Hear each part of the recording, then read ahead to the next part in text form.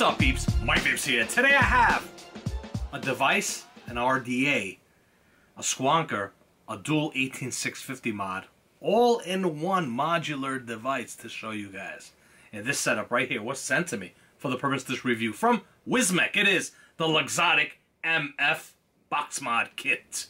Yeah. This is going to be a long video, so no build in the RDA. I'll show you guys the RDA without a build. I'll show you with the build and with cotton. Alright, because I've already reviewed the Guillotine version 2, but I will show you a new feature with the RDA, what they've done with the top cap on here. Basically, the flip over adjustable airflow situation that it has. So, let's not waste any time. Let's dive down.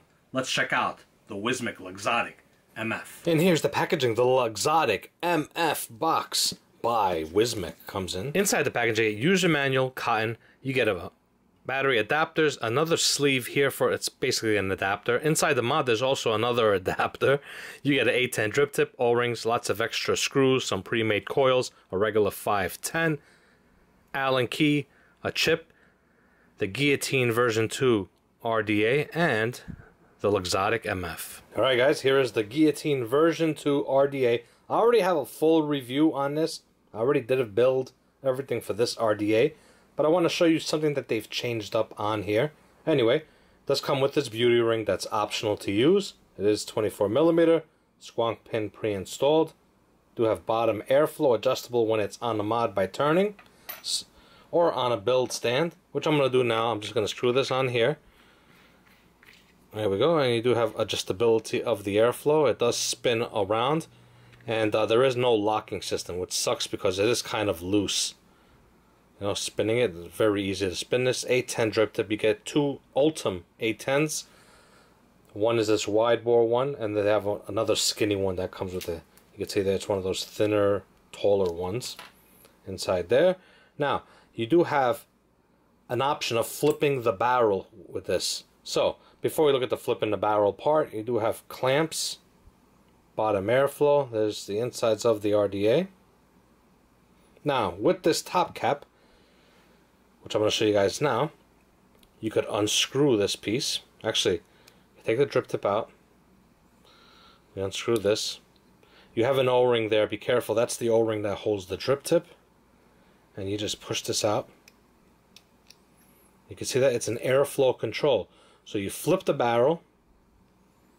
And now you could make it into an adjustable airflow, regular, basically a side airflow RDA if you don't want to use it as a bottom airflow. So we just push that down, screw this all the way in. And you can see now as I'm turning it, you could adjust the airflow. See that? Right, so it has airflow adjustment, side airflow adjustment, bottom airflow, adjusting it by turning this whole cap. Now because they used Ultem for this piece, the stainless steel to screw on, you have to be careful when doing it, when screwing it on, because you don't want to cross thread this. And reason being, the way I see it, why they used Ultem is because for heat transfer. So heat transfer doesn't transfer on here and onto your lips. You know what I'm saying? So yeah, you have to be careful with this. Alright, so the Guillotine V2 RDA. I'm not going to do a build on camera. This is going to be a long video because I need to show the mod too. So anyway, it is, as you can see here, Allen key screws, and that's the size that it uses. Right there, and there's a clamp style system. Alright, so there it is without a build. And here is the RDA with a build in it. Using the coils that they supply. There you go, with cotton. Alright guys, and here is the Luxotic MF by Wismec. So, yeah, where do we begin on this? We'll start off from the top. We do have our 510, nice and flush. Everything sits beautiful on here. Now, up and down button, our screen, Got a nice little design, almost looks like wood grain, like a wood grain design. Matches the RDA, very nice. There's your back door for it. There's the bottom, manufactured by Wismec. And our fire button. Pretty loud fire button on here. Now, to open up this door, ooh, what's this, Mike? I'll show you guys in a second. Little tab there, you stick your finger in, and you open. So, yes, Squonk. You can squonk with this. The bottle holds 7 mLs of e-liquid. This little door here, or whatever you want to call it, comes out. So this way, when you are using it in single battery squonk mode, Now the door is open and you could squonk it. So, battery configurations on this mod. There's a few. Alright, let's put this to the side. We could run it as a single 18650 squonker. When you do that, you grab your single 18650, the battery sleeve that they provide. Alright, and then you pop it in. Let's see here, positive down. So it'll go in just like that. Alright, so right now it's a single battery device, as you can see there. Another way to run the device is with a 21700 or 2700 battery, positive down. Kind of wish they were marked in white. You guys are going to get sick of me hearing me say that all the time. So there we go. We have it in single battery 21700 mode. As you can see there. Alright, door sits nice and flush. Everything sits beautiful with those batteries. Now, let's pull this out. You could also run this in dual 18650 mode non-squonk. So take the bottle out, there's your bottle, and you can see the way the bottle is set up. It's more offset. So that's the way it's going to go, and you want that offset to be this part here where it's closer to the edge to be against here. And then there's where you would slip right inside that little area there. So it, it is kind of tricky to get this all in place. Uh, make sure you have a little bit of liquid on here so this way it just goes in beautifully. And try holding it from here.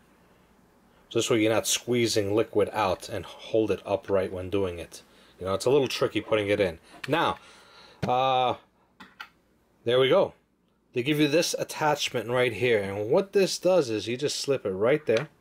See that? Then you grab your batteries. So let's grab our first 18650. Remember, these all ran in parallel, so positive down both ways. So there's the first battery. Let's get it in there. There we go. Second battery. Alright, and you see what happens here? This side is higher than that side. So let's pull this battery out. This is what that other side, I wanted to just show you guys how that looked when you had it in there. That's so it doesn't bounce around. So they give you this sleeve to do this. Basically to make it as fat as a 2700 or 21700. So now let's put it again back inside, positive down. You can see that, and it kind of just holds everything in place. Make sure those batteries are all the way down. Perfect. You would add this piece on there. And the way the door goes in, there's a little, see this little uh, piece sticking out? That slides right in, right inside there. Alright. That's the way the door goes on. Now, when it's in dual 18650 mode, as you guys can see, the door does not sit flush. I don't know how they missed that. They should have seen that. I've tried it with everything. And this situation happens. You can see that this door does not pop off or anything. Door sits solid on this one. Now, on the black version, it wobbles. On this one, it's actually pretty good. It's not bad. So the black one has a wobble to it. But yeah, this gap is a big con in my opinion. Now, another thing you could do with this device is remove the chipset that's in here. What we have in here right now is a 100 watt chip. And it's a couple of screws on the outside to undo it. And then you have seven screws on the inside. But what they do give you is this direct output chip.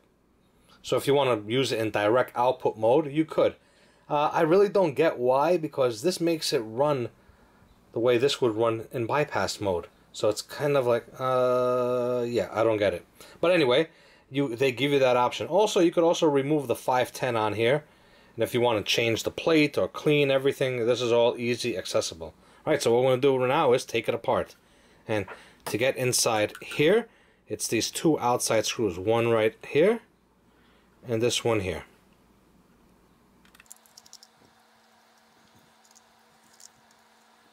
Now that I've gotten that off, you're going to see that this just pops right off. See that? That comes out. There's your button right there just sitting there. So I'll put this on to the side. Put that there. And then we have one, two, three, four, five, six, seven screws that we're going to take out.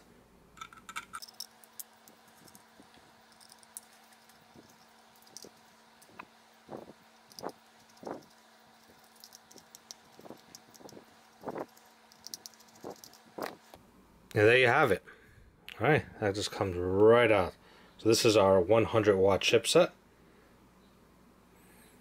And be careful with this because, yeah, the, your fire button is right here and it's just being held. So you got it's very delicate, so you got to be careful with this. So then you grab the direct output chip. Same thing, there's our fire button. And there's all of our contacts. And this is just going to go right back into place.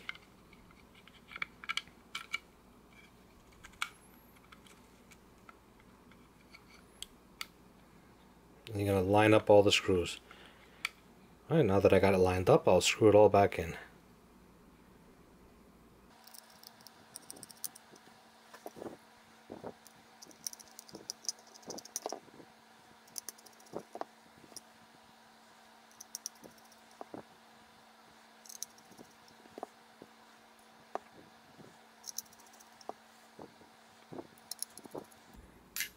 There you go, all screwed back in all together. Now, since I got everything open, I might as well do this too. I'll show you guys. We'll unscrew the 510 area.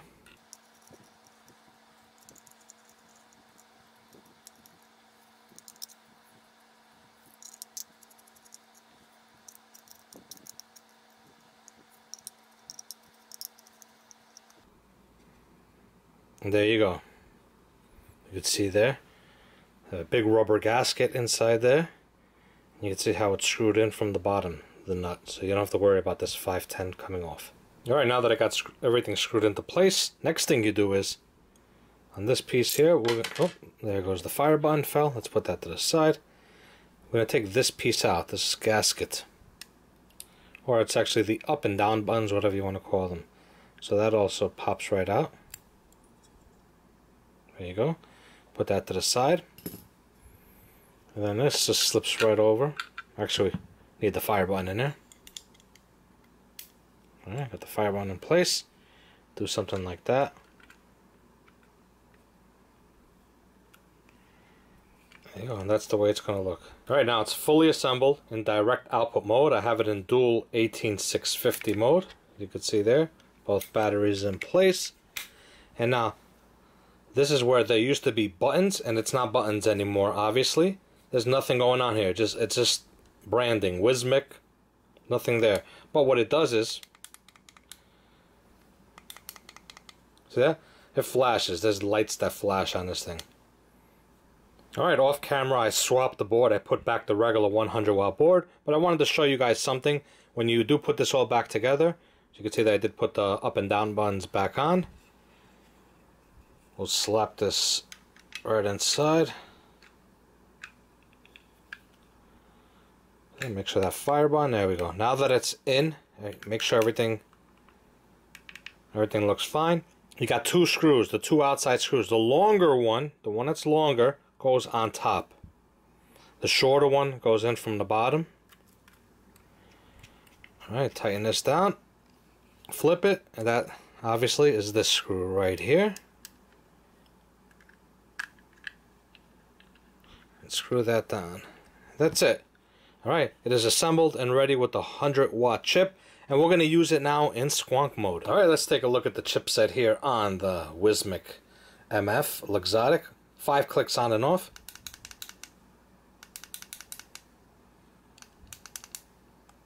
Three. Three clicks. Wattage mode, you have your temperatures M1, 2, and 3s. You have your stainless steel mode, TI, NI, bypass. Like I said, you could run this as a mech. So that's why I don't get why you need to take it out. And back into wattage mode on the screen. Shows you your wattage.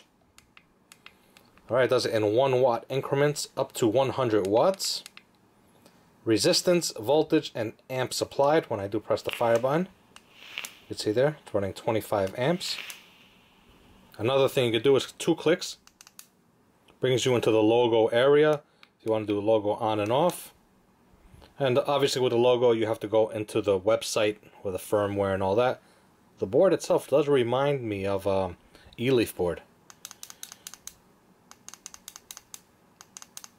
Alright, three clicks, wattage. We're going to go into stainless steel. Alright, there's our temperature control.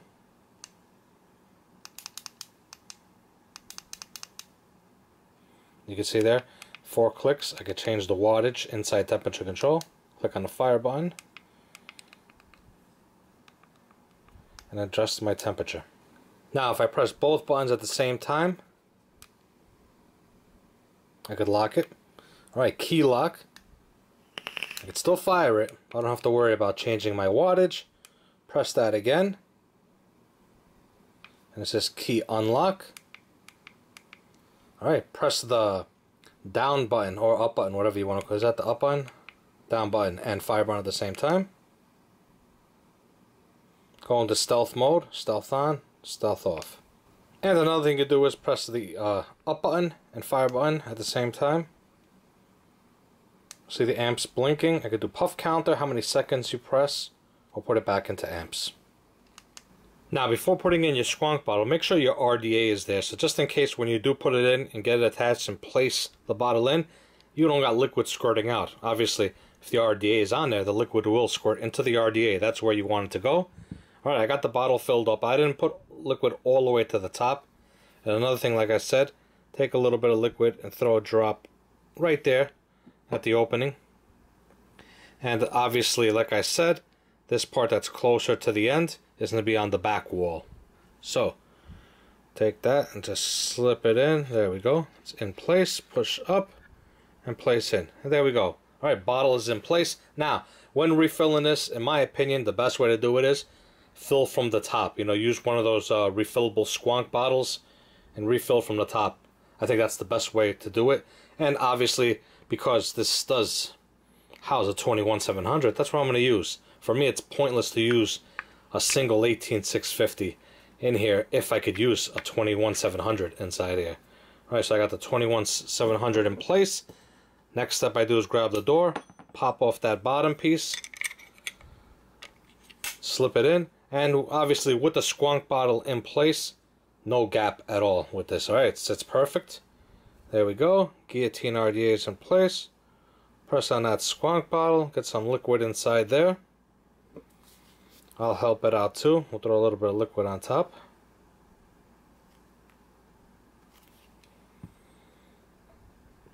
Grab our top cap, put it on, and we are ready to vape. Oh, well, I could have also added the beauty ring, but there you go. Alright guys, and that was the Luxotic MF kit by Wismec. Let's go back up on top, let's vape on it, and I'll give you guys my thoughts. And there you have it. That was the up close of the MF Luxotic Wismec. Mike, thoughts please. Cons. Okay, first cons gonna have to be, which I, I just, uh, who actually okayed it with the dual 18650s in here? The door doesn't sit. All right, the gap's up here. I mean, it sits in place. Don't get me wrong, door's not gonna come off while you're using it. No, but it's not sitting in place. So that's going to be a con. Hopefully these are just uh, beta samples and they going to resolve the issue. But who knows? It's something that I worth mentioning, you know. So that's a con. Uh, what else is going to be a con on here? The device giving you that chip. Now, there's going to be a little confusion going on here. I've done some research and I haven't seen anybody selling this kit with both chips together. It's either you're going to buy it with the 100 watt chip or you're going to buy it with the other chip, the whatever you want to call the chip that's in there. What is it called again? They're calling it the box mod chip. But anyway, I found it in two different ways. That's it. I haven't found it. You could buy them together. So they sent me this kit here. Maybe it's because reviewing it, so they sent me it with the chipset the secondary chips in the box so I could show you guys, but I think it's going to be sold separately. Alright, so if that's the case, that's a con. But going back into that, uh, the direct output board that they give you operates the way the mod would operate in bypass mode. I, I don't get it. I don't understand it. I don't know what the reasoning is behind that. You might as well just get the 100 watt chip because you could still do it in bypass mode. So, yeah. But anyway, Uh, this is one of those devices to where not everybody should have it. If you're gonna, because taking it apart, you lose screws. They give you extra screws, which is a pro. But uh, I don't see taking this apart. I think the biggest feature of this device is that it could use a 21700, a 2700, or an 18650, all three batteries, single. It's and it's a, a squonker, and also, if you don't want to squonk it, make it a dual 18650 parallel mod, non-squonkable, and use it that way.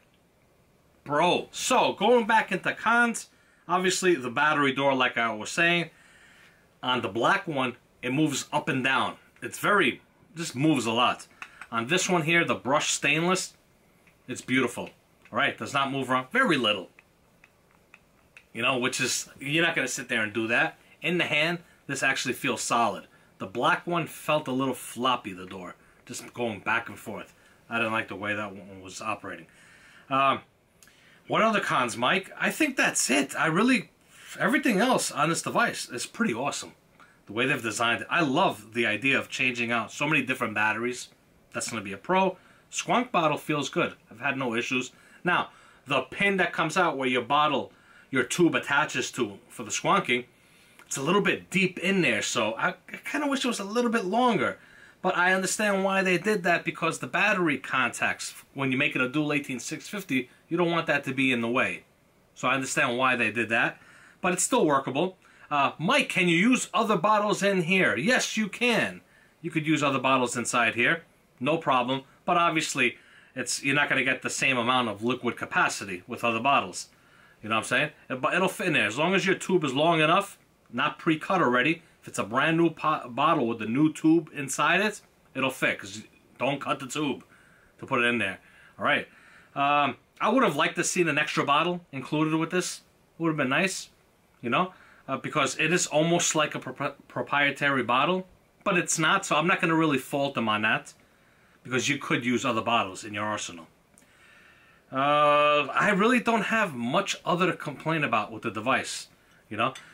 Functionality, it functions like other devices that are made out of the Eleaf, Wismec, Joyetech Camp. It's got that same board in there. Reminds me of the basically the old boards that Wismec and Eleaf were using. Uh, does it fire? No rattling. There's a fire right away? Click the fire button. There is a slight little ramp up time, very slight on there. You know, it's not instant firing on this. Let me have a vape.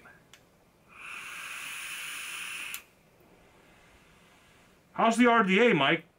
Airflow is nice and smooth. I am using the bottom airflow. I really have no issues with this RDA. RDA vape's great. It's a nice RDA. The only thing, gripes that I have with it is that Ultem piece on the inside. Because if you're going to take it all apart so you could reverse the cap to make it into a side airflow, you got to be careful screwing that back on because you don't want to cross thread that. Kind of wish I didn't have to worry about that, cross threading, but you have to just be careful with it. And the reasoning they put the Ultem in there is to keep heat transfer from the top. Even though it still gets warm, it really doesn't make a difference in my opinion. It's still gonna he's still gonna travel, make its way there. But yeah, it's just something worth mentioning. Flavor on the RDA, pretty good. Now, all in all, nice mod. What I like to see is them selling these boards, even the 100 watt board and the other direct output voltage board separately. Sell them just the boards. It's one of those mods to where you use you can use this for a while. You don't have to worry about buying other mods. If the chipset breaks on you, grab yourself your spare chip. You know what I'm saying? You can just replace the chip. You don't have to replace the whole mod. So that's a big pro on that. You know? But uh the other chipset, the direct, I just don't get why you would want that when you could just use this in bypass mode. Yeah, it makes no sense to me. But uh, all in all, it's a nice device. They are selling it, like I said, on I'm looking at heavengifts.com. They have the kit with the 100 watt board, 7742. Then they have the kit that's going to be with the direct output voltage board, which is going to be cheaper, $65.80. That comes with the RDA. Now, if you want to buy them separately, it's different prices. You could just buy the mod with the 100 watt board, 58.84. Without the 100 watt board, 43.23. So that's what I've been talking about. I've been looking everywhere, and I cannot find anywhere saying that both will come together. I think this was just for the reviewers, guys, So I know other people have done reviews. I'm not sure if any of the other reviewers had mentioned that. I'm letting you guys know now. Don't expect when you get the device to have both boards in there. But I could be wrong. I could be wrong. But I haven't found anywhere stating that it comes with both. Only uh, the reviewer package that I have says it'll come with both. All right, so Mike, do you recommend this device? If they fix the battery door, if they fix the battery door on here, yeah, I do recommend it. Even though it's not an issue, it squonks great. It's a 100 watt device. Squonker 21700, 100 watts. That's a big pro. And that's what a lot of people are looking for, something to at least hit off at 100 watts. So that's a big pro in my opinion. Yeah, I do recommend it. I think it's a pretty nice setup. I like the kit. The RDA is a pretty nice RDA. You know, the Guillotine V2 is a nice RDA. Only wish that it had a locking system because when those O-rings get a little bit wet, it'll be kind of hard to unscrew that.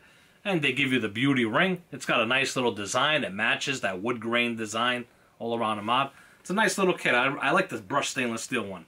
Looks awesome. So, in the description below, I'll have a link to Wismec's website, link to heavengifts.com, coupon code AMV15 will get you 15% off. And go on Wismec's website. You'll see it doesn't state that they come both chips. It only says they in two different packages.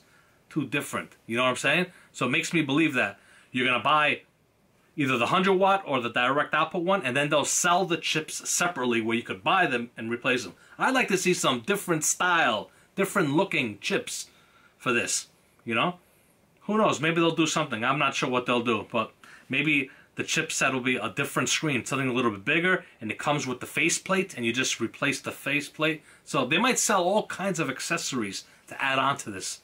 So let's see what they bring out in the future. All right, so like I said, those links down below, and all of my links are down below as always. That's it. I'm done. Thank you, and remember, keep on vaping.